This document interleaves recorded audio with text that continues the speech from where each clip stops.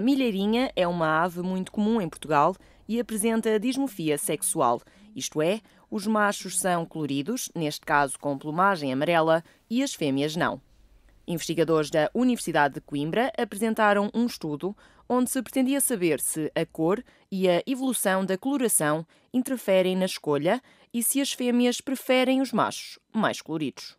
Nós uh, selecionámos vários tipos de machos de uma espécie, da, da que é uma espécie muito comum em Portugal, cujos machos são coloridos uh, e as fêmeas não. Uh, essa coloração é um amarelo na, na plumagem que é produzido por, por pigmentos que são carotenoides e ehm, nós expusemos as, as, as, fêmeas a machos mais coloridos e menos coloridos.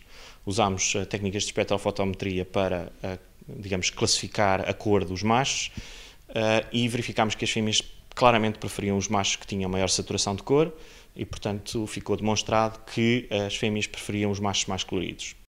Sabendo que as aves têm uma visão mais alargada do que o ser humano e que a plumagem dos machos das milheirinhas reflete a gama ultravioleta, os investigadores tentaram saber se este dado influenciava a escolha das fêmeas.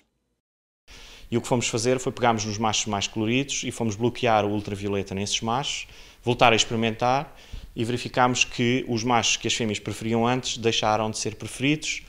Portanto, nós podemos concluir que as fêmeas gostam de machos amarelos e machos UV. Uh, ah, e se o UV não estiver presente, esses machos deixam de ser atrativos. Estes resultados surgem depois de cinco anos de estudo. O próximo passo é tentar perceber qual o impacto da coloração dos machos para o comportamento reprodutor das milheirinhas.